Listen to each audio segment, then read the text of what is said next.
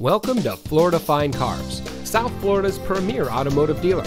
And here's a look at another one of our vehicles from our massive selection and comes equipped with bi-xenon HID headlamps, Nevada leather seating, steering wheel controls, alloy wheels, roof rack, keyless entry, rain sensitive windshield wipers, air conditioning, traction control, CD player, fog lights, power windows, and much more.